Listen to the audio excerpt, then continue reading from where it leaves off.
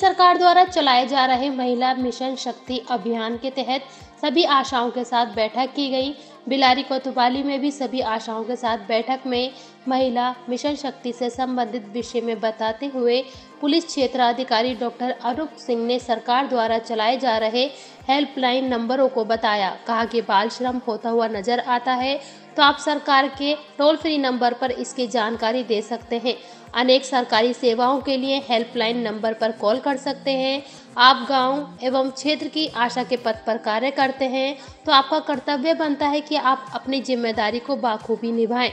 कोतवाली प्रभारी रविंद्र प्रताप सिंह ने कहा कि आपके नंबर पर कोई फर्जी तरीके से कॉल करता है और आपसे आधार कार्ड या कोई आपका बैंक खाता नंबर मांगे तो उस नंबर को तुरंत ही डिलीट करते हैं। उसकी शिकायत थाने में कर सकते हैं, जिसकी पुलिस द्वारा जाँच की जाएगी। ऐसे नंबरों को तुरंत ब्लॉक कर दे।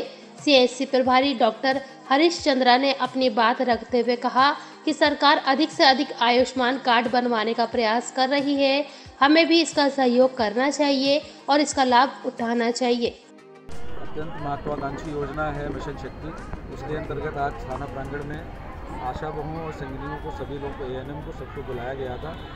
और उद्देश्य ये था कि हम लोग विभिन्न विभागों के लिए लोग साथ में इकट्ठा होकर के और लोगों को कैसे जागरूक करना है, लोगों तक जन जन तक कैसे सरकार की सभी महत्वाकांक्षी योजनाओं को, जो माताओं, बहनों, बेटियों की भलाई के लिए है, जो उनकी रक्षा के लिए है, जो उनकी प्रगति से संबंधित है, जुड़ी हुई है, उसको कैसे जन जन तक पहुँचाया जाए उस बारे में एक आ, हम लोगों ने यहाँ पे वर्कशॉप भी करी बहनों को भी अवेयर किया उनको भी जागरूक किया उनको उनके अधिकारों के बारे बताया और साथ ही साथ जो हमारी मिशन शक्ति की हमारी शक्ति दीदियाँ हैं उनके माध्यम से जो हमारी पावर लाइन्स हैं उसके बारे में अवगत कराया।